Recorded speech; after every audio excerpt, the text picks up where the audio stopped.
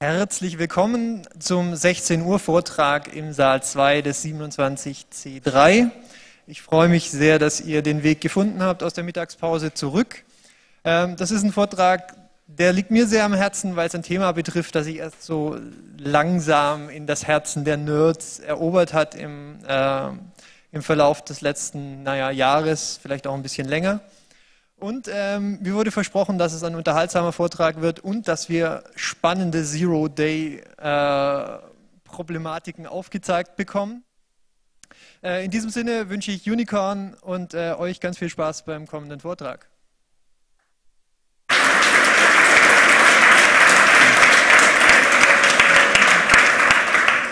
Ja, ein wunderschönes guten Morgen auch von mir. Ähm, wir wollen uns heute ein bisschen mit dem Zensus beschäftigen. Ähm, das Thema haben wir ja sozusagen im CCC-Umfeld erstmals auf der SIGINT bearbeitet und äh, seit da hat sich doch einiges entwickelt, was ich dann heute auch ein bisschen vorstellen möchte. Anfangen wollte ich mal so als Einstieg, äh, ist ja immer toll, wenn man so einen historischen Kontext hat, mit eben genau diesem. Ähm, ich habe jetzt mal nur das 20. Jahrhundert gewählt, weil Volkszählung ist was, was sich so äh, mythisch schon durch die Religionsgeschichte auch zieht. Also wir hatten ja gerade dieses komische christliche Fest, Weihnachten. Ähm, wo äh, auch die Volkszählung eine Rolle spielt, angeblich, auch wenn das ganz lustig ist, weil das ist irgendwie, es gibt zwei Evangelien in der Bibel, wo die drin vorkommt und die widersprechen sich auch noch, wie sie eigentlich stattfand, die Volkszählung. Das ist toll. Aber gut. Ähm, 1917 hatten wir in Deutschland eine Kriegszählung und äh, während dieser Kriegszählung, das war halt ganz wichtig, weil man musste halt irgendwie, um so zum Beispiel Lebensmittel planen zu können, also wenn man nicht mehr so viel hat, dann muss man ja sinnvoll verteilen und deswegen hat man dann versucht, eine Volkszählung zu machen. Ähm, das stößt natürlich im Krieg auch auf gewisse Schwierigkeiten. Dann hatten wir 1933 und 1939 auch im Dritten Reich Volkszählungen. Ähm, man kann ja dem Dritten Reich vieles unterstellen, aber unterorganisiert war es sicherlich nicht. Ähm, zumal äh, auch der Nationalsozialismus an sich in seiner Ideologie hat halt immer nach Begründungen gesucht, warum jetzt zum Beispiel die Juden oder wer auch immer schlimm ist. Und da haben sie äh, in der wissenschaftlichen Statistik zumindest keinen Widerspruch gekriegt, wenn ich das mal so formulieren darf. Ähm, außerdem ist natürlich wichtig, wenn ich den totalen Krieg vorbereite, dass ich halt meine Ressourcen möglichst genau einteilen kann. Dazu wurden halt so Sachen wie das Arbeitsbuch oder das Gesundheitsstammbuch und dann natürlich auch äh, sowas wie der ARIA-Pass und die Meldepflicht wurden dann eingeführt, einfach damit halt das, ähm, damit die Personen besser erfasst wurden, um dann sie halt im Krieg einsetzen zu können, sage ich jetzt mal wertneutral. Ähm, auch nach dem Krieg wurden weiter äh, Volkszählungen durchgeführt. Deutschland hat sich da, äh, in Deutschland hat sich da Siegfried Koller sehr hervorgetan, zu dem Michael Ebeling, der in der zweiten Reihe sitzt, ein bisschen was rausgesucht hat. Also äh, das war ein sehr strammer Statistiker, der auch schon während dem Dritten Reich sehr strammer Statistiker war, um es mal so zu formulieren und äh, auch aktiv an der Mitarbeit beteiligt war von den ganzen im Dritten Reich durchgeführten Volkszählungen. Und dieser Mensch hat dann nach dem Dritten Reich äh, den sogenannten Mikrozensus entwickelt, mit dem ja heutzutage immer noch Leute beschickt werden und gequält werden. Ähm, das ist also so eine Fortführung der Tradition gewesen, muss man schon sagen. Ähm, natürlich gab es auch in der ehemaligen sowjetischen Besatzungszone, die dann später DDR hieß, Volkszählungen. Da wurde dann 1981 die letzte gemacht. Ähm, die wollten dann 1991 noch eine machen. 91, glaube ich. Und äh, die ist dann äh, überraschenderweise ausgefallen. Ähm, auch in der Bundesrepublik wurden weiterhin neben dem Mikrozensus wurden auch noch Volkszählungen gemacht, also Vollerfassungen des Volkes. Ähm, das war 1983 ja eine etwas größere gesellschaftliche Debatte, als die äh, Bundesregierung damals eben diese Volkszählung machen wollte und sich dann zum ersten Mal ein sehr breiter gesellschaftlicher Widerstand gegen diese Form von Datenstriptease äh, gebildet hat, woraufhin es dann eben zu dem äh, vielleicht von einigen schon gelesenen berühmten Volkszählungsurteil des Bundesverfassungsgerichts kam, was die Volkszählung 1983 erstmal gestoppt hat und äh, auf ein etwas gesünderes Maß zurechtgestutzt hat. Und die ist dann, äh, was viele auch nicht wissen, die Volkszählung wurde nicht verboten damals, sondern die Volkszählung wurde nur in der Form verboten und ist dann tatsächlich 1987 abgeändert durchgeführt worden. Das ist was, was äh, ähm, ich in vielen Gesprächen festgestellt habe, viele nicht wissen. Also die Volkszählung, die 83 durch das Volkszählungsrecht gestoppt wurde, wurde 87 erfolgreich durchgeführt oder mehr oder weniger erfolgreich jedenfalls. Ja, ähm, da möchte ich auch gleich mal auf dieses berühmte Volkszählungsurteil einkommen, äh, eingehen. Ähm, die Entscheidung, Bundesverfassungsgerichtsentscheidung 1, 65, also erster Senat, Entscheidung 65, ähm, da ist vor allem die Randnotiz 154 extrem interessant. Auch wenn ich jetzt aus, äh, also ich kann euch nur empfehlen, das gesamte Urteil mal zu lesen, das ist echt, echt toll. Aber gut, es gibt Leute, die haben Spaß am Urteil lesen, andere eher am Quellcode lesen, ist schon okay. Ähm, das äh, Urteil, was ich halt, also den Satz, den ich sozusagen sehr schön finde, weil er sich halt auch ähm, in seiner Bedeutung auf sehr viele Themen, die wir irgendwo in unserem Chaosumfeld so bearbeiten, immer wieder bezieht, ist, dass wer unsicher ist, ob abweichende Verhaltensweisen jederzeit notiert und als Information dauerhaft gespeichert, verwendet oder weitergegeben werden, wird versuchen, nicht durch solche Verhaltensweisen aufzufallen. Das bedeutet also, das, äh, was sich daraus ableitet, ist das Recht auf informationelle Selbstbestimmung. Ich muss also als Bürger, als Mensch die Möglichkeit haben, wenigstens zu wissen, was mit diesen Informationen passiert, damit ich einschätzen kann, ob es eine Gefahr ist, die Informationen weiterzugeben. Also wenn ich bei Facebook angebe, dass ich schwul bin, dann mag das in Deutschland jetzt noch nicht so das Problem sein. Im Iran wäre es wahrscheinlich schon ein bisschen problematischer. Und das können Leute aber, wenn sie es bei Facebook bewusst anklicken, einigermaßen steuern möglicherweise. Wenn aber der Staat das in irgendeiner Kartei drin stehen hat, ohne es den Leuten zu sagen, dann ist das ja nicht steuerbar, weil das Risiko sich für mich entwickelt. Und das ist der Kern, die Kernessenz von der informationellen Selbstbestimmung, dass ich eben die Möglichkeit habe, die Abschätzung zu treffen, ob weitergegebene Informationen kann durch mein eigenes Handeln und nicht irgendwie durch Gesetze zu einem für mich schlechten Handeln gezwungen werde. Wozu macht man eigentlich Volkszählung? Ich habe es ja eben im historischen Kontext schon mal so ein bisschen angesprochen. Ähm, ganz allgemein, wenn man wenig hat, möchte man es sinnvoll verteilen. Das kann Geld sein, das kann Streusalz sein, das kann Mate sein, egal. Ähm, das heißt, ich muss halt wissen, wie viele Nerds kommen zum Kongress, damit ich, bestell, damit ich bei Loscher die richtige Menge Mate bestellen kann. Nichts anderes ist eine Volkszählung in dem Fall. Ähm, was halt in der Demokratie zum Beispiel noch dazu kommt, ist, dass ja optimalerweise jeder Bürger das gleiche Stimmgewicht bei einer Wahl haben sollte. Das heißt, äh, Wahlkreise sollten halt irgendwie gleich viele Wähler beinhalten, damit nicht irgendwie ein Abgeordneter von, was weiß ich, 20.000 Leuten gewählt wird und ein anderer Abgeordneter 500.000 Leute hat. Ähm, was in Deutschland dann auch noch aufgrund unseres föderalen Systems dazu kommt, ist, dass wir sehr, sehr viele Länderfinanzausgleichszahlungen haben und auch Gemeindeausgleichszahlungen. Das heißt, Gemeinden, die mehr Einwohner haben, kriegen einen höheren Anteil aus der, äh, aus der eingenommenen Steuer und haben deswegen auch natürlich mehr Geld zur Verfügung für ihre Ausgaben. Was man natürlich mit Volkszählung auch machen kann, Statistiken erstellen, sprich äh, irgendwie, wir haben so und so viele Rothaarige in Deutschland oder wer rothaarig ist, äh, trinkt auch am liebsten Pepsi, ich weiß es nicht. Und natürlich auch sozialwissenschaftliche Forschung, wie zum Beispiel, wie sich äh, ähm, Paarungsverhalten ändern über die Zeit, dass sich halt irgendwie Familienbände, die man halt irgendwie für immer fest angenommen hat, irgendwie in der modernen Zeit etwas transformieren. Das kriege ich natürlich besser raus, wenn ich eine höhere Datenbasis habe. Ähm, und wie ich ja schon angesprochen habe, während des letzten Weltkrieges, also in, äh, in Mangelzeiten, und Krieg ist ja eine extreme Mangelzeit, ähm, gibt es halt dann so Sachen wie Lebensmittelverteilung, die natürlich auch gerecht stattfinden sollte. Und ähm, was man damit aber leider auch machen kann, ist die ähm, Deportation oder zumindest mal die Erfassung von politisch Ungewünschten. Das hat sich äh, während dem Zweiten Weltkrieg oder während dem Dritten Reich extrem gezeigt. Und zwar gab es damals in den Benelux-Staaten, waren sie sehr stolz auf ihre sehr fortschrittliche Verwaltung. Die hatten also ihre Bürger schon komplett erfasst und hatten auch die Religion zu den Bürgern gespeichert. Und als dann die deutsche Armee über Belgien, Holland und Luxemburg hinweggerollt ist, äh, haben sie sich sehr darüber gefreut, dass sie diese äh, Bevölkerungskartei einfach mal direkt nehmen konnten und wussten, wo die Juden wohnen. Das hat dann dazu geführt, dass in diesen Ländern irgendwie 80 bis 90 Prozent der Juden in die Konzentrationslager gesteckt wurden, während andere Länder, wo halt keine so fortschrittliche Verwaltung existierte, das irgendwie auf deutlich weniger Prozent gedrückt hatte. Einfach dadurch, dass alle Daten schon gespeichert waren. Und das zeigt halt auch relativ einfach, dass äh, selbst wenn ich Daten irgendwie mit der besten Absicht erhebe, egal welche Daten jetzt, kann das natürlich immer passieren, dass jemand anderes kommt, der dann der Meinung ist, dass man Mautdaten ja auch zur Strafverfolgung verwenden könnte oder dass man Volkszählungsdaten eben auch mal zur Deportation von Andersgläubigen verwenden könnte.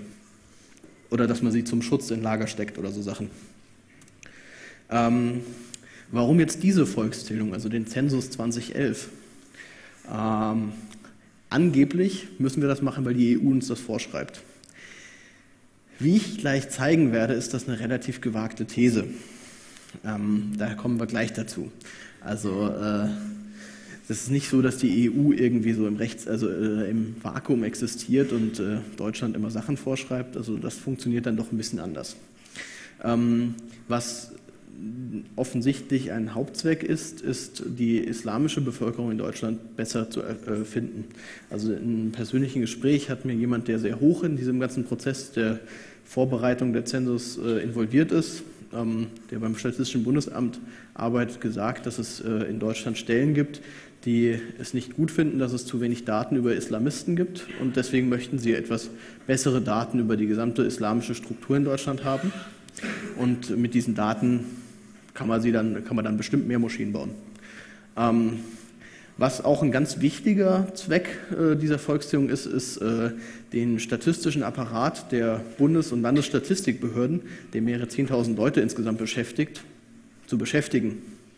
Also das dürfte auch, wer zum Beispiel eine Firma hat oder irgendwie ein Unternehmen, zum Beispiel sowas wie einen Malerbetrieb hat, der wird sich auch immer freuen, wenn dann irgendwie eine neue Statistik über Gefahrenstoffe im Handwerk gemacht wird und man dann irgendwie einen Mitarbeiter zwei Tage lang abstellen muss, der erstmal das Lager nach allen Lösungsmitteln irgendwie und das genau in Grammanzahlen den schicken soll. Also da gibt es schon sehr intensive Statistiken. Und die Volkszählung ist natürlich ein sehr langfristiges Arbeitsprojekt für die Statistik. Das ist ganz lustig, weil zum Beispiel in einzelnen Landesgesetzen, die wir äh, begleitet haben in der Verabschiedung, stehen dann halt so Sachen drin wie zusätzliche Mitarbeiter werden für diese Aufgabe nicht benötigt. Und wenn die Aufgabe dann sowas ist, wie die gesamte Bevölkerung mal mit dem Fragebogen zu beschicken, dann fragt man sich, wie viele Mitarbeiter haben die eigentlich übrig? Ähm, ja. Und dann gibt es so Sachen, die, die hat natürlich niemand beabsichtigt, aber die könnte man ja ganz gut dann gleich mitmachen. Und was da ganz groß ist, ist, äh, deswegen habe ich das auch als Untertitel für meinen Vortrag gewählt, das Bundesmelderegister. Aktuell ist es so, dass wir in Deutschland die Melderegister bei den einzelnen Kommunen liegen haben. Das bedeutet, wenn ich jetzt irgendwie nach, was weiß ich, Castro-Brauxel ziehe, dass dann das Bürgerbüro Castro-Brauxel für mich zuständig ist und meinen Datensatz speichert und äh, ich da halt zum Amt gehe und mich an, ab, ummelde. Und äh, die geben es dann auch an die GZ weiter. Ähm, ja, in Zukunft soll das Ganze, weil das ja total unmodern ist und auch viel zu viele Fehler beinhaltet, soll das Ganze in ein Bundesmelderegister überführt werden. Die entsprechenden Gesetze sind eigentlich schon verabschiedet, nur an das Projekt hat sich bis jetzt noch keiner herangetraut. Ähm, dieses Bundesmelderegister würde dann aus allen lokalen, kommunalen Melderegistern zusammengeführt werden. Da gibt es dann natürlich so, sagen wir mal, äh, Schwierigkeiten, weil die Melderegister nicht alle die gleiche Datenqualität haben. Und das sind genau die gleichen Schwierigkeiten, wie sie jetzt auch beim Zensus auftreten. Das heißt, durch den Zensus hat man dann halt einen super Prototyp für eben dieses Bundesmelderegister. Wir werden jetzt sehen, ob das jemand dann auch noch auffällt. Ich bin mir eigentlich schon relativ sicher, dass wir im Jahr 2012 oder 2013 über dieses Thema dann informiert werden, dass wir jetzt ein Bundesmelderegister kriegen. Das hat natürlich aus datenschutzrechtlicher Sicht ein gewisses Problem, wenn es diese riesige zentrale Bevölkerungsdatenbank geben wird. Aber das äh, werden wir dann hoffentlich noch irgendwie ähm, begleiten dürfen, den Prozess. Ähm, ja, was es in Deutschland auch nicht gibt, ist eine zentrale Gebäudebesitzerdatenbank. Das heißt, äh, es gibt zwar bei den einzelnen zum Beispiel Finanzämtern gibt es gewisse Unterlagen, es gibt bei den Katasterämtern gibt es bestimmte Unterlagen, die also die Gebäudebesitzer haben und auch zum Beispiel die Abwasser, äh, Abwasserverbände wissen, wer die Abwasserrechnung zahlt. Das heißt, das sind ja dann auch der Besitzer.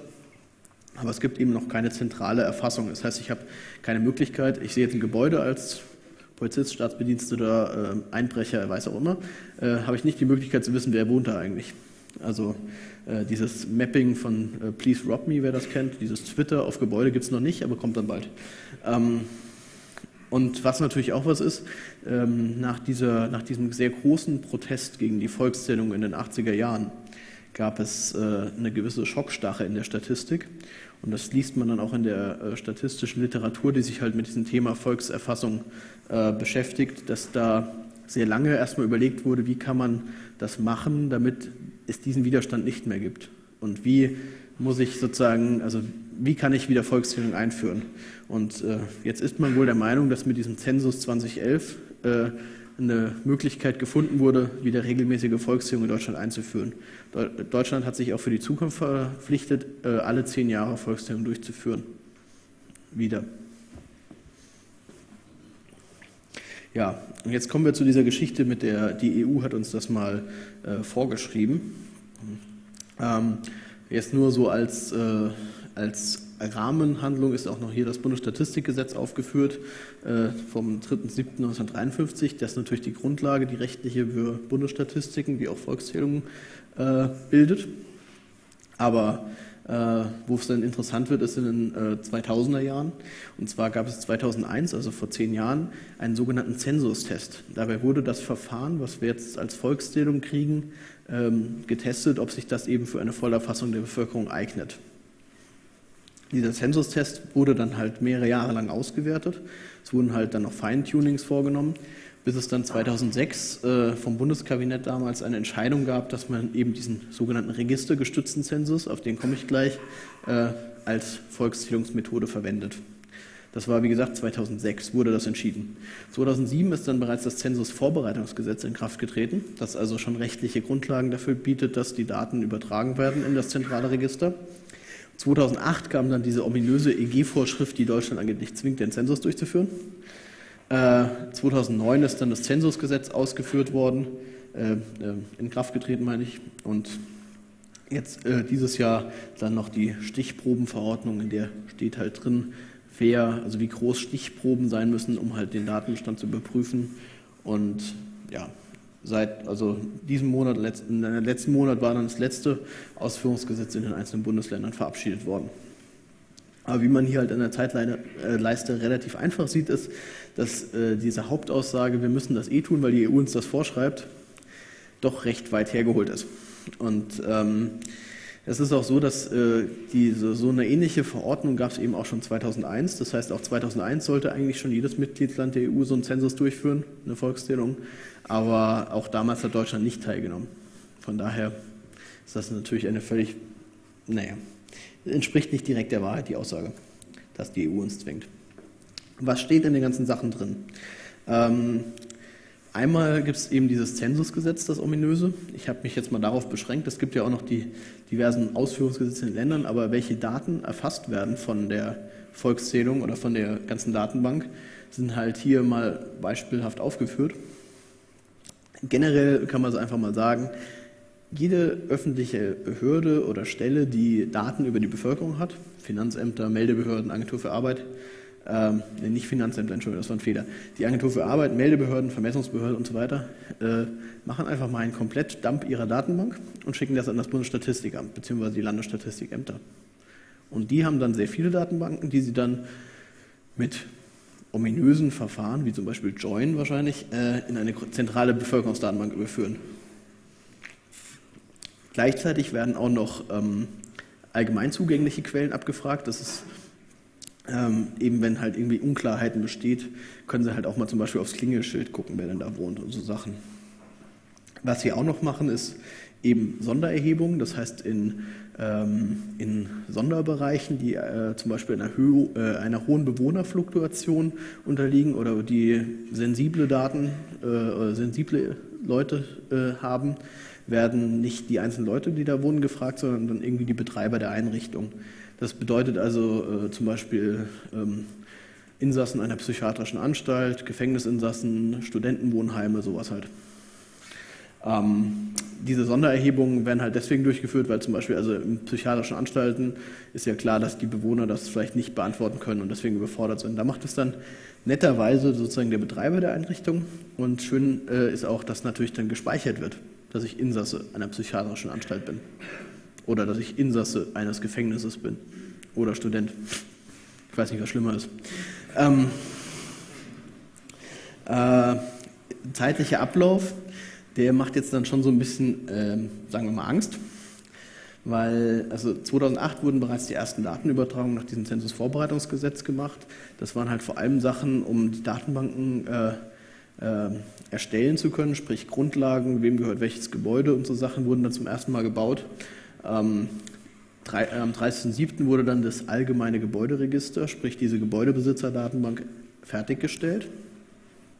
Äh, seit kurzem, also ich denke, ihr werdet auch jemanden kennen, der schon vielleicht so irgendeinen Zettel gekriegt hat, werden bereits die Gebäudebesitzer befragt Die, werden, die müssen dann Auskunft über die Mieter in dem Gebäude geben. Die müssen dann auch, wenn sie zum Beispiel nicht zuständig sind, Auskunft geben, wer ist denn zuständig für das Gebäude, ähm, damit eben die ganzen, also damit dann am Ende eine Datenbank steht, wo alle Informationen stimmen, wer für welches Gebäude zuständig ist. Damit dann äh, im April nächsten Jahres die Fragebögen verschickt werden können ähm, an die Immobilienbesitzer. In den Fragebögen werden dann so Sachen gefragt wie, hat diese Wohnung eine Badewanne, hat sie eine Dusche, äh, wie wird sie beheizt, wie viele Personen wohnen darin und wie heißen diese Personen. Man muss dann mindestens zwei Namen angeben. Wenn man das nicht beantwortet, äh, kommt dann auch vielleicht mal jemand vorbei und fragt nochmal persönlich. Am 9.5. nächsten Jahres ist dann der Stichtag. Alle Aktivitäten dieser ganzen Zensusgeschichte beziehen sich im Prinzip auf diesen Tag, den 9.5. An dem äh, ist sozusagen das Datum für den Datenbankdump. Also die Ergebnisse der Volkszählung werden sich dann auf genau diesen Tag beziehen. Ähm, da, nach diesem Stichtag werden dann auch zum ersten Mal Volkszähler rumlaufen. Das sind also äh, irgendwelche Leute. Momentan werden zum Beispiel ganz aktiv Studenten rekrutiert. Und diese Studenten kriegen dann irgendwie, äh, wenn sie eine Adresse validieren, glaube ich, 7,50 Euro pro Adresse. Ähm, das heißt, die müssen dann im Fragebogen zu Oma Erna nach Hause gehen und sagen, guten Tag, ich bin Volkszähler, sagen Sie mir mal, wie Sie heißen, wann Sie geboren sind, äh, wo Sie wohnen, wie Ihr Mann heißt, äh, wann Sie nach Deutschland eingezogen sind und so weiter. Ähm, Oma Erna wird sich freuen. Ähm, und dann werden auch an diesem Tag nochmals Daten übermittelt in diese allgemeine Datenbank. Äh, oder halt, also jedenfalls werden die Daten an diesem Termin äh, aus, der, aus den Datenbanken der öffentlichen Stellen gedammt, um dann halt in die Datenbank der Landesstatistikbehörden überführt zu werden. Am 9.8. Wird dann noch mal, die, werden nochmal alle Daten übermittelt, um eben Abweichungen zu finden und um zum Beispiel Leute zu erfassen, die, äh, also Babys zum Beispiel, die am 9.5. geboren wurden. Da dauert es ja, bis die angemeldet sind. Also die werden ja dann nicht gleich am 9.5. in der Datenbank stehen. Also so gut ist die Überwachung noch nicht. Ähm, deswegen werden diese Leute dann am 9.8. nochmal übermittelt, damit man halt alle erfasst wirklich. Ähm, diese beiden Monate, August, September, sind dann auch noch vorgesehen, eben diese ganzen äh, Unstimmigkeiten aufzuklären. Also Unstimmigkeit kann halt zum Beispiel sein, wenn der Gebäudebesitzer angibt, äh, in dieser Wohnung wohnen fünf Personen, aber es sind nur zwei gemeldet. Dann wird da halt mal jemand vorbeigehen und klopfen und gucken, wie viele Leute ihm aufmachen. Und auf diese Weise sollen halt auch zum Beispiel Leute gefunden werden, die warum auch immer nicht gemeldet sind. Das betrifft vor allem irgendwie Ausländer die halt zum Beispiel keinen Aufenthaltstitel in Deutschland haben und äh, rechtlich als illegal angesehen werden. Ähm, ja.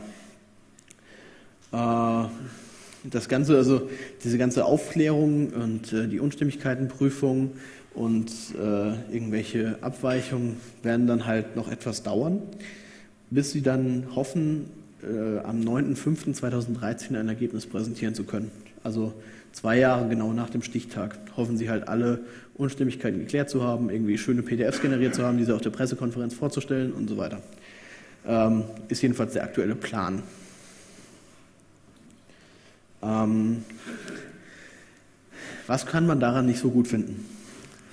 Zum einen äh, ist es so, dass äh, ich weiß nicht, wer schon irgendwie da mal sich von, also wir können das mal irgendwie so mit Händen, Handzeichen machen. Äh, wer hat sich denn schon irgendwie da, also wer fühlt sich über die Volkszählung von öffentlichen Stellen gut informiert? Sie wird euch alle betreffen. Von allen also jedenfalls von allen Europäern, sagen wir es mal so, äh, werden die Daten äh, übertragen in dieses Register. Hat das irgendjemand? Ich sehe jetzt nicht eine Hand, schade. Ähm, also es scheint irgendwie ein bisschen Mangel zu sein. Und das ist halt was, was ich ja mit dem Eingangsstatement vom Bundesverfassungsgericht so ein bisschen zeigen wollte. Also ich muss halt irgendwie eine Möglichkeit haben, ja meine äh, äh, diese informationelle Selbstbestimmung wahrzunehmen, indem ich sozusagen mitbekomme, was mit meinen Daten geschieht. Und offensichtlich passiert das ja gar nicht, obwohl die Daten ja schon in der Datenbank stehen, wie wir vorhin an der Zeitleiste gesehen haben. Aber Informationen hat keiner gekriegt hier. Ähm, was auch schön ist, ist, dass jeder Bürger äh, eine Ordnungsnummer bekommt. Informatikern ist das ja relativ klar.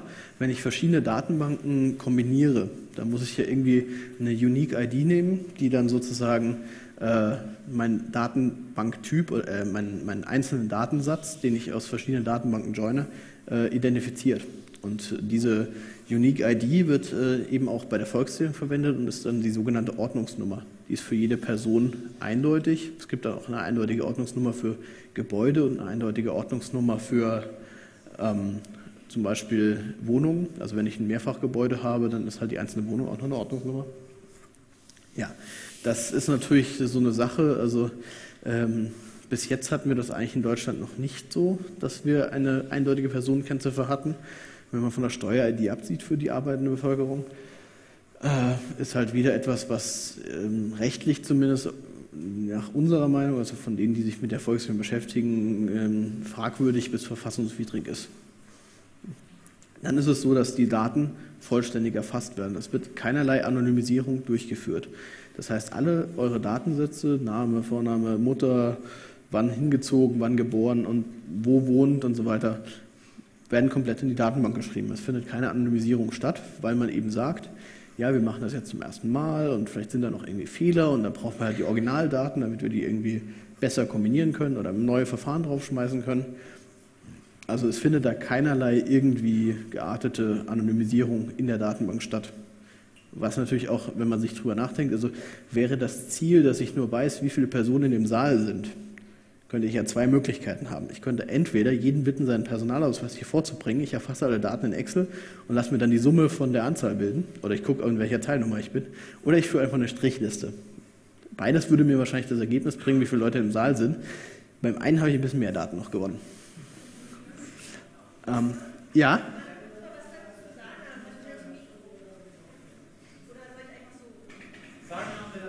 Ja, ich denke auch. Also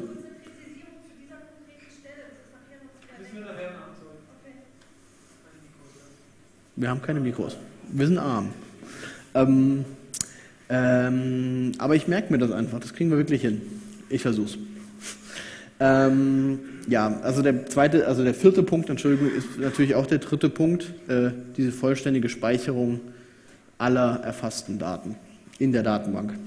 Und was eben noch dazu kommt, wie ich ja eben schon dargelegt habe, wenn ich in einem Sonderbereich wohne, also ich hatte das ja gesagt, äh, Psychiatrie, äh, Gefängnis, Studentenwohnheim, ähm, dann habe ich halt das auch in der Datenbank stehen, dass ich in diesem Sonderbereich wohne. Und das ist jetzt ein fundamentales Problem, weil im deutschen Rechtssystem bin ich unschuldig, bis ein Gericht mich für schuldig befunden hat. Es kann aber sein, dass aufgrund eines Vorwurfs von jemandem ich in Untersuchungshaft lande. Das ist erstmal eine Untersuchungshaft, das heißt ja nicht, dass ich schuldig bin, sondern nur, dass ein Sachverhalt geklärt werden muss. Und dann geht es vor Gericht und das Gericht sagt dann ja oder nein. Also entweder ich bin schuldig für irgendwas oder ich bin unschuldig.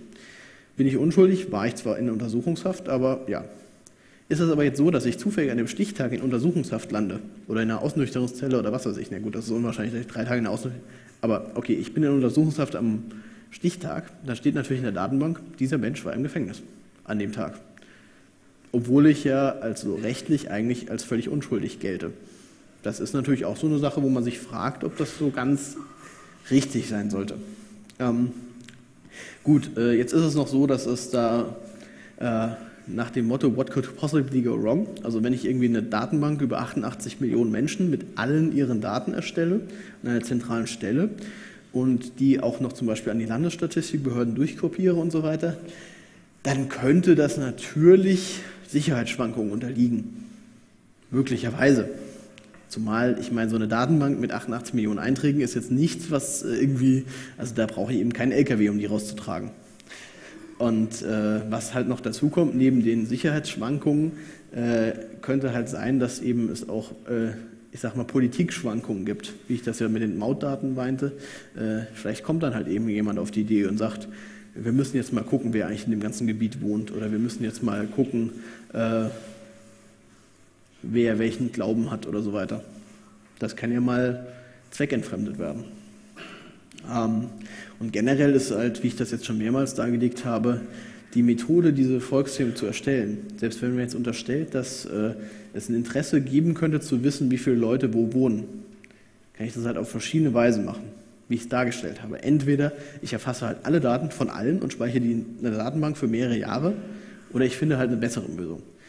Eine, best also eine andere Lösung. Eine andere Lösung wurde hier anscheinend nicht gefunden, sondern wir haben eben diese Vollerfassung. Ähm, und was halt auch ganz toll ist, ist, wie ich es dargelegt habe, dass eben auch die Religion erfasst wird. Ähm, das muss man vielleicht ein bisschen ausführen. Es gibt in den Fragebögen, die verschickt werden, zwei Felder. Das eine ist die Zugehörigkeit zu einer öffentlich-rechtlichen Religionsgemeinschaft. Die öffentlich-rechtliche Religionsgemeinschaft steht auch in der Meldebehörde gespeichert. Das sind so Sachen wie ähm, Katholik, evangelisch, ähm, Jude ist, glaube ich, auch dabei und es gibt noch verschiedene wenige Splittergruppen. Das sind aber jetzt nicht so viele. Wie gesagt, das steht jetzt auf den Meldebehörden bereits. Das hat halt den Sinn, dass zum Beispiel Kirchensteuer gezahlt werden kann. Ähm, dann gibt es aber noch eine zweite Frage. Die ist freiwillig. Das ist die einzige Frage auf dem ganzen Erfassungsbogen, die freiwillig ist. In dieser Frage wird gefragt, was mein persönliches Glaubensbekenntnis ist. Das ist keine Freitextfrage, also man darf leider nicht Jedi eintragen, wie es in England immer gemacht wird. Jedis sind also laut den Volkszählungen in England irgendwie die größte Religion mit 30 Prozent der Bevölkerung.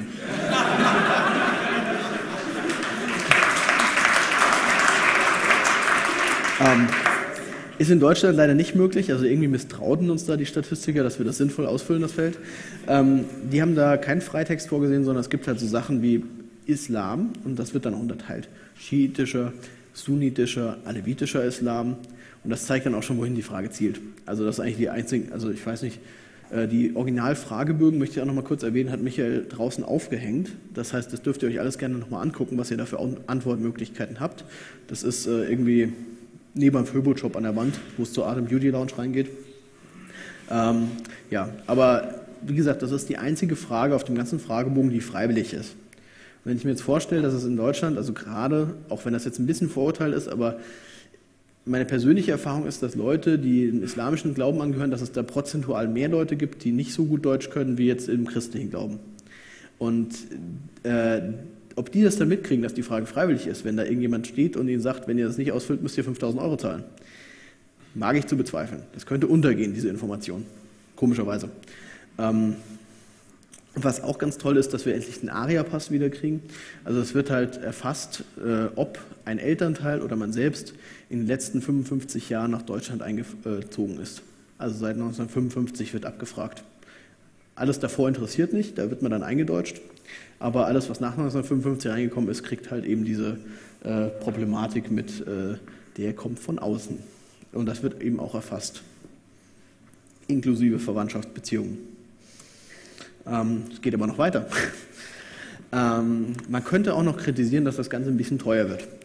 Äh, wie gesagt, das wurde ja 2001 der Zensus-Test gemacht und da wurde halt geguckt, was würde uns das kosten, diese äh, Erfassung zu machen. 2003 wurde das dann auf 315 Millionen Euro geschätzt. 2006 hat die Taz in einem Artikel von 450 Millionen gesprochen. Im Zensusgesetz von Juli 2009 stehen 527 Millionen. Ähm, Im März nach der Verabschiedung des Zensusgesetzes sind es dann angeblich 700 Millionen. Und die letzte Schätzung, die ich gehört habe, das war vom äh, Chef des Bayerischen Landesstatistikamts, sind 754 Millionen. Na, ein bisschen teurer, Inflation und so. Ähm, das bedeutet im Prinzip, geben wir eine Dreiviertel Milliarde für diese Sache aus. Also eine Dreiviertel Milliarde dafür, dass wir so Sachen wie, wo kommt das nächste Altenheim hin, besser planen können. Jeder kann sich, glaube ich, mit einem einfachen Dreisatz ausrechnen, wie viele Altenheime man für 744 Millionen Euro bauen kann, wenn man jetzt mal sagt, eins kostet eins oder zwei Millionen, egal. Also gut, dann bauen wir vielleicht nicht hier an der besten Stelle, aber dann bauen wir halt einfach zwei dahin und dann haben wir es auch. Ähm, ja, was ich eben mit den 5000 Euro schon mal erwähnt habe, äh, muss man schon von ein bisschen, also das ist schon ein bisschen lächerlich. Ähm, Im Zensusgesetz steht tatsächlich drin, dass wenn ich die Fragen nicht beantworte, ich ein Buchsgeld bis zu 5000 Euro zahlen muss. Das ist fern jeder Realität. Also es gab es auch in den 80ern schon, diese Summe. Damals waren es, glaube ich, 10.000 Mark. Ähm, wenn dann tatsächlich das jemand durchgezogen hat und die Fragen nicht beantwortet hat, ist, hat er keine 10.000 Mark zahlen müssen, sondern 100, 200, 300 Mark. Aber allein, dass sie halt diese Summe reinschreiben, die, also die wird nie verhängt werden, diese Summe. Die ist einfach nur, das muss man sagen, zur Abschreckung. Also wenn jetzt jemand in das Gesetz reinguckt und sieht, oh, wenn ich nicht antworte, muss ich 5000 Euro zahlen, dann hat er natürlich eher eine Motivation zu antworten, selbst wenn er nicht will, als wenn er steht, sag mal 200 Euro.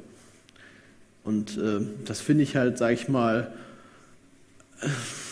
also ich finde, es grenzt da schon an Nötigung, wenn der Staat das nötig hat, sowas reinzuschreiben, um halt irgendwie Leute zur Auskunft zu bringen. Ähm, was halt, äh, was ich auch schon angesprochen habe, ist, äh, es gäbe durchaus alternative Möglichkeiten, die Bevölkerungszahl zu ermitteln, die halt eben nicht in der Vollerfassung liegen. Ähm, offensichtlich ist da aber kein Interesse. Also man könnte, ähm, ich weiß nicht, wer sich schon so irgendwie mit Statistik beschäftigen durfte, ähm, je größer ich meine Menge an Leuten oder an, an Elementen, die ich sozusagen erfassen will, wähle, desto kleiner kann ich eine Stichprobe daraus wählen, weil aufgrund der echten Zufälligkeit, sprich es ist zufällig verteilt, ist garantiert, dass ich eben aus einer, also bei einer größeren Menge auch mit einer kleineren Stichprobe ein richtiges Ergebnis bekomme. Wenn ich nur irgendwie, also wenn ich drei Leute habe und einer ist davon rot und ich wähle als Stichprobengröße 1, dann kann es halt passieren, dass ich entweder 0% Rothaarige rauskriege als Ergebnis oder 100% Rothaarige. Habe ich aber irgendwie, äh, und das wären jetzt irgendwie 33% Stichprobengröße, habe ich aber irgendwie 1000 Leute und davon sind, ich weiß nicht, 10% rothaarig, reicht es halt, ich müsste das jetzt ausrechnen, also das kann man ausrechnen, äh, reicht es wahrscheinlich, wenn ich irgendwie ungefähr 5% oder so frage, um halt ein, äh, eine Fehlergröße von unter 10% zu haben. An dem Beispiel sieht man halt sehr deutlich, wenn ich eine sehr große Grundgesamtheit habe, dann haben wir hier irgendwie 88 Millionen oder 85 Millionen Deutsche, äh, dann muss ich nicht irgendwie 10 Prozent der Bevölkerung erfassen, um eine gute Abdeckung zu kriegen der Sache. Und ich muss auch eben nicht alle voll erfassen. Das eh nicht. Kaputt. Was man auch noch ähm, machen könnte, wäre natürlich eine anonymisierte Erfassung. Ähm, das Ganze nennt sich anonymisierte Summenerfassung und ist auch relativ trivial vorstellbar wir bleiben wieder beim Beispiel hier im Saal. Wenn ich jetzt wissen will, wie viele hier wohnen, äh, den Vortrag zuhören, ähm, dann könnte ich halt entweder das mit der Vollerfassung machen, also die Excel-Tabelle, alle Werte eintragen und am Ende mir gucken, in welcher Zeit ich gelandet bin. Oder ich mache das einfacher. Ich zähle einfach, wie viele Leute sind, äh, also äh, wie viele Rothaarige sitzen in Reihe 1, wie viele Rothaarige sitzen in Reihe 2, wie viele Rothaarige sitzen in Reihe 3. Und dann kann ich ja die Reihen addieren und habe am Ende auch die Zahl der Rothaarigen, ohne halt alle Einzelnen zu erfassen. Und so kann man das natürlich auch bei einer Volkszählung machen. Ich kann also äh, zum Beispiel die, äh, jede Straße in einer Gemeinde kann ich erfassen. Da wohnen fünf Rothaarige, zehn Rothaarige. Dann erfasse ich irgendwie das Stadtviertel, die Stadt, den Landkreis, das Bundesland. Dann habe ich Bundesdeutschland. Und auf diese Weise habe ich genau die gleichen Zahlen, aber ich muss halt nicht alles in einer zentralen Datenbank speichern, sondern das wird halt durch unser äh, Subsidiaritätsprinzip auch von unten nach oben äh, nur immer die Summe übermittelt. Ja. Ähm, was auch noch interessant ist, ist, dass äh, wir haben das in den verschiedenen Länderausführungsgesetzen kritisiert. Äh, die sind relativ schlecht äh, im Hinblick auf die sogenannte Abschottung.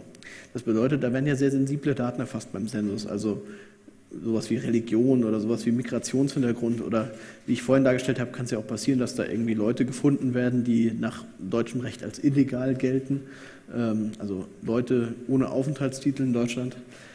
Und jetzt könnte das ja sein, dass das zum Beispiel die Ausländerbehörde aus Versehen mitbekommt.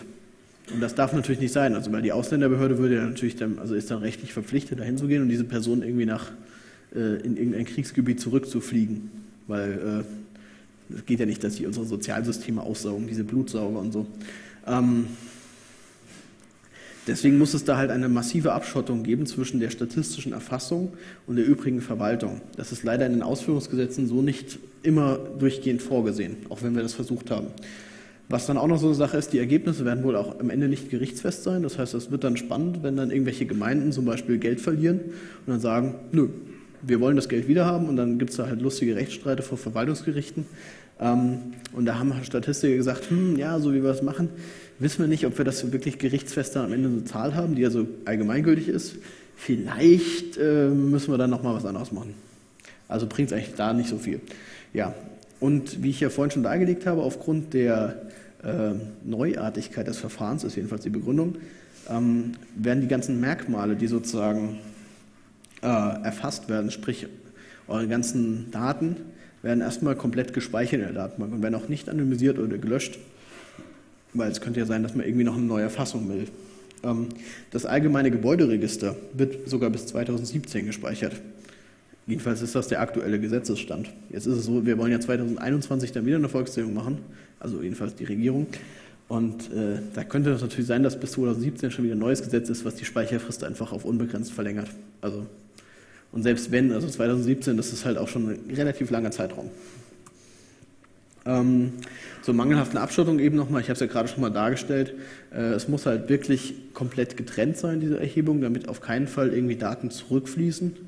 Ähm, in verschiedenen Bundesländern in Deutschland haben wir halt so Probleme gehabt, wie als Mitarbeiter, die sozusagen rumlaufen und die Klingelschilder sich anschauen, könnte das auch mal passieren, dass das irgendwie Mitarbeiter der Ausländerbehörde ist und Mitarbeiter der Ausländerbehörde dann sozusagen, hm, ich habe doch da gestern, als ich Volkszähler war, habe ich doch gesehen, dass ihr illegal seid. Hm, heute bin ich als Ausländerbehördenchef da.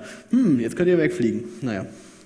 Ähm, was auch so eine Sache ist, die Erhebungsbögen äh, sollten vielleicht an eine, äh, sollten halt verschlossen an eine, an diese Erhebungsstelle weitergeleitet werden. Und da macht es natürlich Sinn, wenn die eine eigene äh, Postanschrift hat, weil ansonsten muss ja erstmal der Erhebungsbogen aufgemacht werden in der zentralen Poststelle, reingeguckt werden, oh, das ist ja für die Statistik, hm, interessant.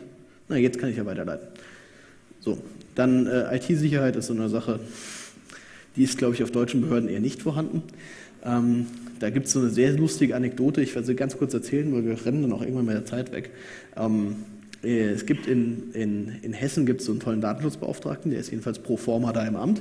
Und der hat irgendwann in den 90ern hat er mal die äh, kommunalen Statistikstellen angeguckt und hat sich dann auch die in, ich glaube es war Frankfurt oder Darmstadt angeguckt und hat dann festgestellt, ähm, die Statistikstelle hat ihre ganzen Daten, die sie erfasst, auf dem gleichen Server gespeichert wie die übrige Verwaltung. Also es wird halt irgendwie, was weiß ich, 1995, es wird halt irgendwie so eine NT351-Möhre gewesen sein mit einer Festplatte, der dann der Server war. Und ähm, er hat dann angekritisiert, dass das ja nicht geht, dass das auf der gleichen Maschine liegt und hat dann gesagt, ihr müsst die Daten trennen, baut bitte eine zweite Festplatte in den Server ein.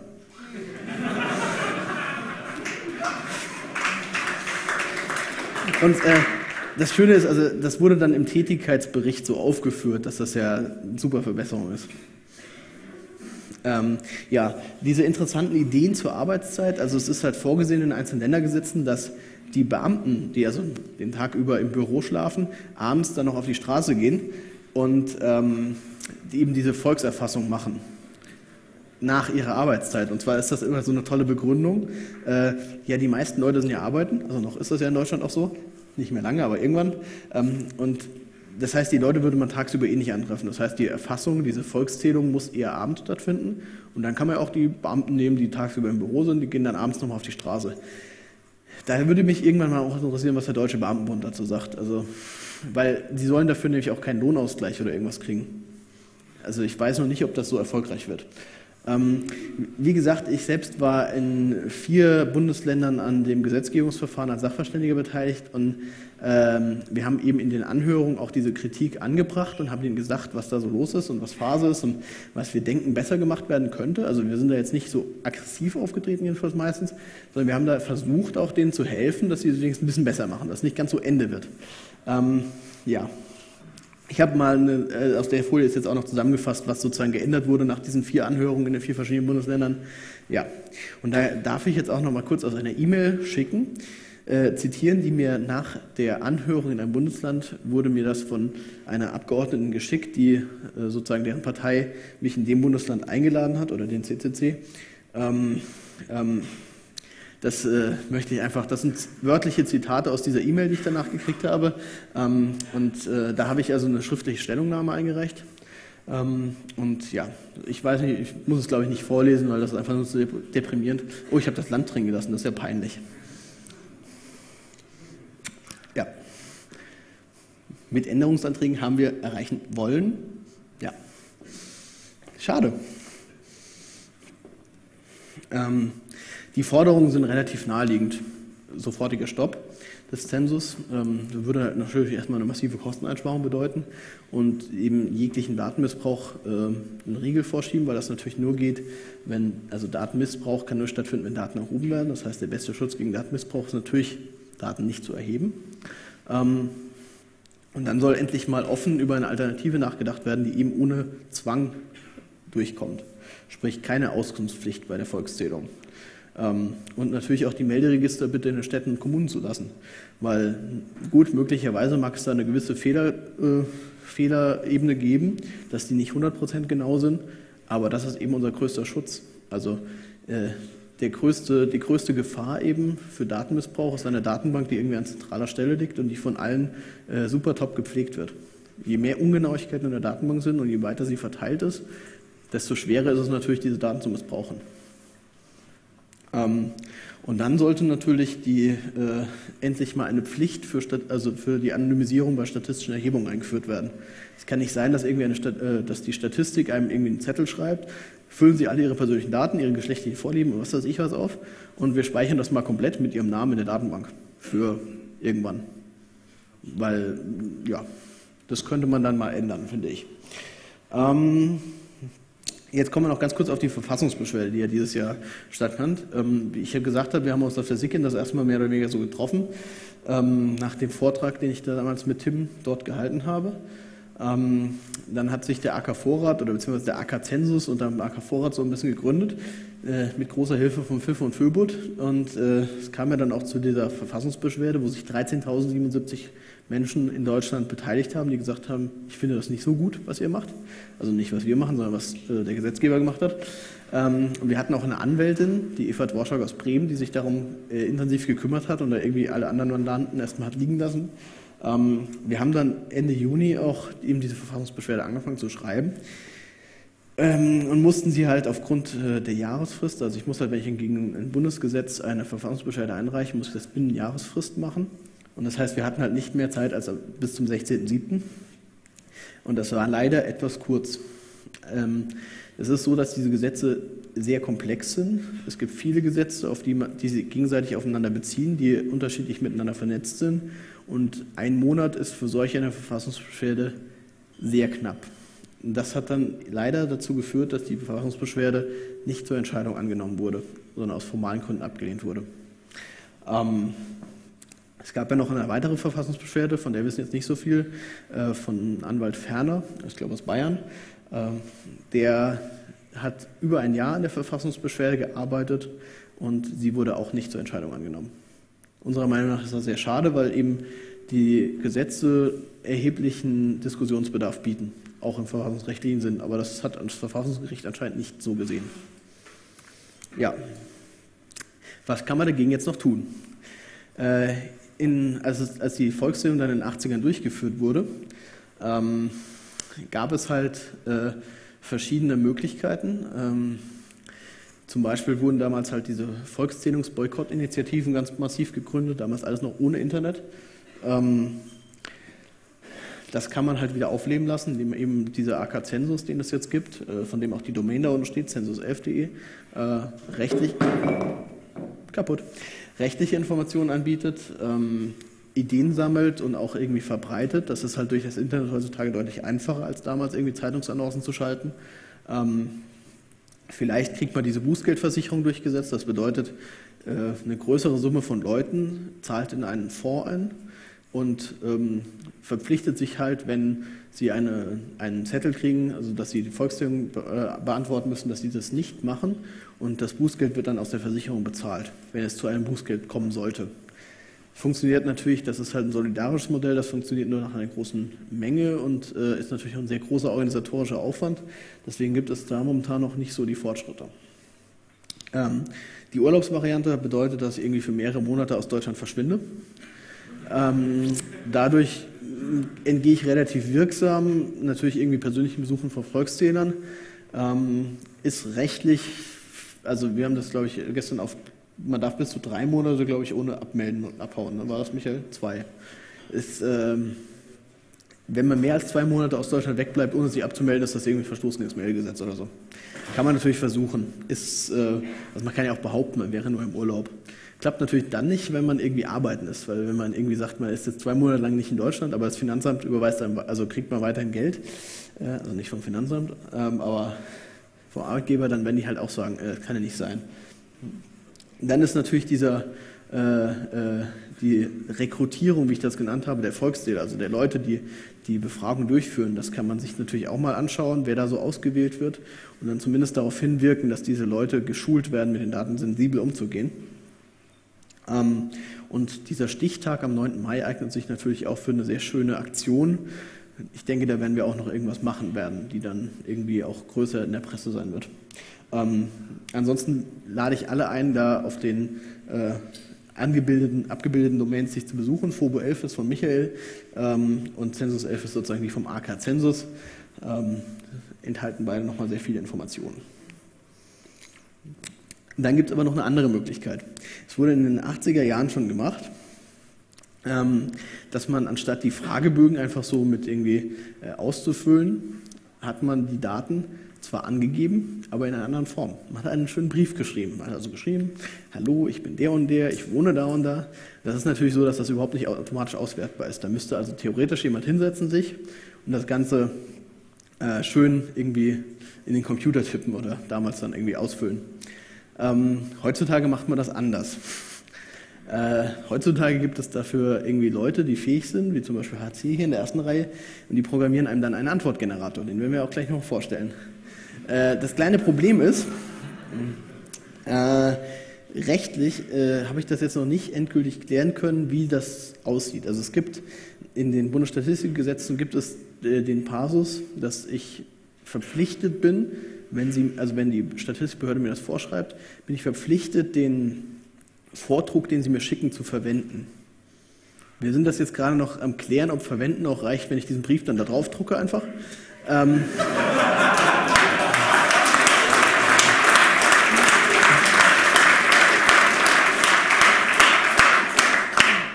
Unabhängig davon ist das aber natürlich ein sehr schöner Weg, um sozusagen zu sagen, ihr könnt mich mal, indem man halt so einfach sagt, hier sind doch meine Daten, was wollt ihr denn? Ähm, das Problem ist aber weiter, dass die Daten ja bereits in der Datenbank stehen. Die Stichproben, die beim Zensus durchgeführt werden, also diese Fragebögen, die verschickt werden, dienen einzig und allein dazu, die bereits bestehende Datenbank zu verbessern. Also die, die eigentliche Datenbank wird eben schon durch die Übertragung von den Melderegistern und so weiter erstellt. Die gibt es jetzt auch schon fast. Das heißt, natürlich werden irgendwie im Mai diese äh, Briefbögen verschickt und ihr müsst dann das und das beantworten. Aber das wird nur verwendet, um die Datenbank, die schon existiert, zu verbessern. Das heißt, ich kann momentan, wie es aussieht, nicht verhindern, dass meine Daten in der Datenbank landen, wenn ich da nicht irgendwie mich abmelde und alles Mögliche mache oder sterbe. Ja, nichtsdestotrotz finde ich das aber einen so schönen Hack, dass HC das bitte auch vorstellen sollte. Ähm, wenn wir das jetzt irgendwie so ad hoc noch in den letzten zweieinhalb Sekunden hinkriegen, bevor hier unser Saalengel uns rausschmeißt. Ähm, so, what could possibly go wrong, wenn man bei einer Live-Demo jetzt hier so den Stecker zieht und das woanders reinsteckt? Naja, wenn das das Einzige ist, was abstürzt, ist ja gut.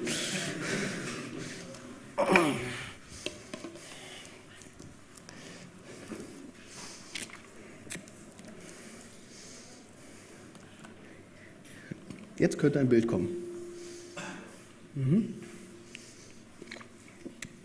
Oder auch nicht.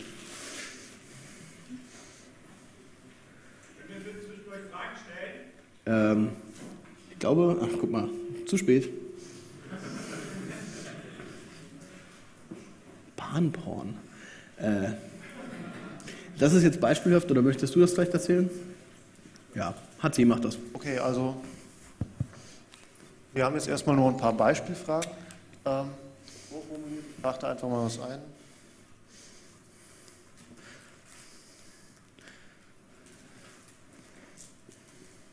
Das ist natürlich datenschutzrechtlich auch ähm, unbedenklich. Das ist alles JavaScript, das heißt, wir brauchen jetzt hier auch keine Internetverbindung, damit das funktioniert.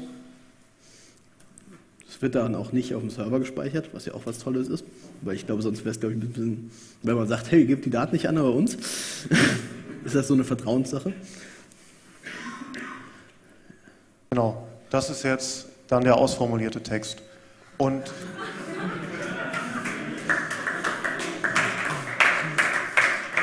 Und die, die Idee dabei ist, dass, dass also wir haben das gecrowdsourced, das heißt, jeder kann neue Formulierungen für Fragen einreichen über ein Webformular und ähm, da wird dann immer zufällig eine ausgewählt. Das also, man kann das auch ohne viel Aufwand nicht automatisiert auswerten, weil eben immer wieder neue Formulierungen auftauchen. Ja, also das wird auf jeden Fall wahrscheinlich äh, existieren, dieses Tool dann. Wir sind noch dabei. Verfolgt einfach mal die Webseiten, die da stehen und dann werden wir das hoffentlich zum Laufen bringen. Ähm, ja.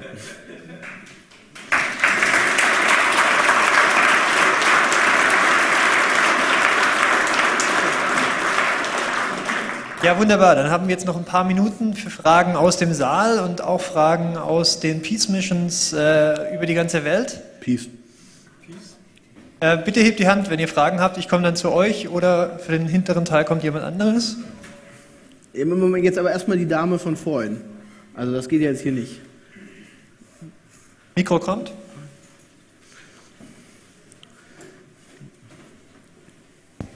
Hi, danke schön. Ähm, ich wollte nur noch mal die Präzisierung ähm, hinzufügen, dass ähm, natürlich es so ist, dass diese bescheuerte Ordnungsnummer da eingeführt wird. Aber die Zensusleute behaupten von sich natürlich, ja, das wird ja sowieso alles nur für diese Zeit von vier Jahren gemacht. Die glauben auch daran, dass die Daten danach gelöscht werden. Nur also manche von denen glauben jedenfalls daran. Und die glauben auch, dass äh, niemand diese Daten irgendwie rausnehmen könnte und diese Ordnungsnummer bestehen bleibt. Das ist halt extrem schwierig in der Argumentation, weil aus deren Sicht ist es halt so, dass sie das alles total abgesichert haben und es kann überhaupt nichts passieren. Und es ist deswegen total schwierig, denen gegenüber aufzutreten mit äh, der Ordnungsnummer und dem Bundesverfassungsgerichtsurteil, weil die dann in ihrer Argumentation sagen, ja, aber wir machen das ja gar nicht für die Ewigkeit, sondern bei uns wird es ja dann gelöscht. Und solange halt da kein Fuck-up passiert, sind die halt sozusagen nicht zu bekehren und äh, sehen auch diesen Vergleich nicht. Das ist halt sehr, sehr schwierig in der Darstellung. Es wäre jetzt natürlich leichtes, da irgendwie zu strafbaren Handlungen aufzurufen, was natürlich dann auch irgendwie uns vielleicht vor der nächsten Volkszählung bewahrt, aber ich kann das natürlich aus rechtlichen Gründen auf keinen Fall befürworten, dass er da jetzt irgendwie die Ordnungsnummern ins Internet packt. Volkszählungsleague.org, ist hier noch frei, kann man jemand kommen? ähm, nächste Frage bitte. Genau, die nächste Frage stammt von einer der Peace Missions und Gregor wird sie uns vorlesen. Ja, also die Frage kommt sogar eigentlich hier noch aus dem BCC, nämlich aus dem Himmel unten. Und ich dachte, das mit Gecko, den Peace Missions wäre was anderes. ja, der Gecko hat gefragt, ja, wer befragt eigentlich die Leute, die da rumlaufen, beziehungsweise was passiert mit dem, was die eigentlich herausfinden? Ähm, also die Volks, also die einzelne Gemeinden richten sogenannte Erhebungsstellen ein. Die Erhebungsstellen sind halt für den lokalen Bereich zuständig. Und diese Erhebungsstellen rekrutieren Volkszähler, haben wir sie genannt. Ich glaube, offiziell ist die Bezeichnung Erhebungsbeauftragte. Und diese Volkszähler haben also die Aufgabe, Leuten zu helfen, die Schwierigkeiten haben, so einen Zettel auszufüllen, also Oma Erma oder so. Mm, also es wird jedenfalls vermutet, dass die ganze jüngere Generation da überhaupt keine Probleme hat, weil man darf die Fragen auch über Internet eingeben. Man kriegt dann so einen Code und dann darf man auf seiner Internetseite, die darf man natürlich auch nicht angreifen, diese Internetseite, ähm, diese Internetseite sammelt also von der jüngeren Generation die Daten ein und die Leute, die damit Probleme haben, kriegen dann so Hilfe von diesem Volkszähler. Äh, das ist in Amerika ganz lustig, die machen natürlich auch regelmäßige Volkszählungen und die machen das dann immer dann in dem Zeitraum, wo sie auch ihre Arbeitslosenstatistik erstellen, bringen die halt auch irgendwie so drei Prozent. Ja, ähm, auf jeden Fall, diese Volkszähler laufen halt rum und äh, man ist auch gegenüber, äh, gegenüber diesen Volkszählern erstmal zur Auskunft verpflichtet. Äh, das Einzige, was man natürlich machen kann, ist, geben Sie mir einen Zettel, ich mache das selbst. Das klappt halt beim ersten Mal, beim zweiten Mal dann schon nicht mehr. Ähm, und diese Volkszähler äh, dürfen zum Beispiel auch Nachbarn fragen. Die Volkszähler dürfen auch zum Beispiel eben auf Klingelschilder gucken und können da halt so Ungereimtheiten finden. Und diese ganzen Informationen, die da zusammengetragen werden, werden eben erstmal in der Erhebungsstelle in der Kommune gesammelt und von da an dann eben in die zentrale Datenbank überspielt. Vielleicht machen wir das ganz anders. Warum melden wir uns nicht alle als Volkszähler an? Es könnte ja passieren, dass uns mal den Stift verrückt äh, spielt und irgendwas anderes reintragen würde in den Formularen, als das, was sein soll. Das kann man natürlich machen und das würde natürlich vielen Leuten helfen. Das Problem ist eben nur, wie ich schon dargestellt habe, die Daten stehen in der Datenbank. Die sind jetzt schon in der Datenbank. Das heißt, die Sachen, die auf diesen Papierzetteln erfasst werden, sind nur zur Verifizierung der Datenbank. Das heißt, wenn da irgendwie Sachen auftauchen, die gar nicht stimmen oder so, wird das dann einfach nur dazu führen, dass das nochmal intensiver überprüft wird ob wie jetzt die Schreibung vom Nachnamen richtig ist zum Beispiel. Also gerade bei Leuten, die jetzt nicht Schmidt oder Müller, gut, Schmidt ist schon, also Schmidt wäre ja schon ein super Beispiel, äh, da kann es halt sein, da steht halt DT, TT, was weiß ich auch immer. Und ähm, das, äh, wenn da halt irgendwie Abweichungen auftreten, dann ist das halt etwas, was dann eher zu intensiveren Analyse führt, als irgendwie den Leuten hilft, denke ich.